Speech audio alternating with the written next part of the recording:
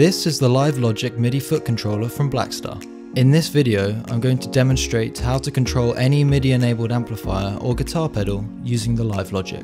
With your Live Logic connected to your amp via a 5-pin MIDI cable, you can send control change messages to adjust individual parameters on your amplifier. Having set up my foot controller using the accompanying software, I can now control different delay parameters on my Silverline Deluxe using the switches on the Live Logic. Switch 1 is set to turn the delay on and off.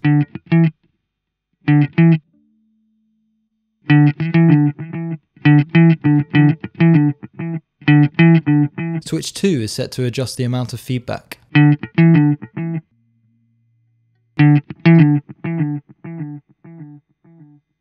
Switch 3 is set to adjust the delay level.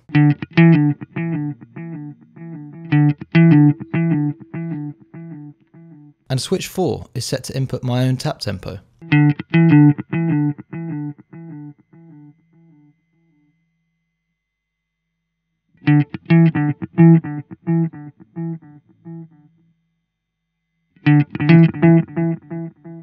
Similarly, any MIDI enabled pedals can be controlled by the Live Logic in much the same way.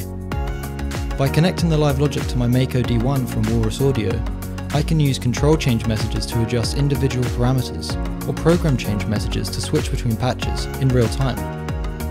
This time, I've set switch 1 to trigger preset 1 in bank A. I've set switch 2 to trigger preset 2 in bank A.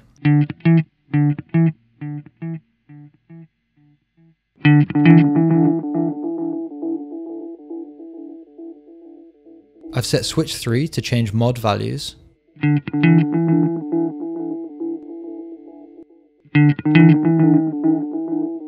And I've set switch 4 to change the amount of repeats.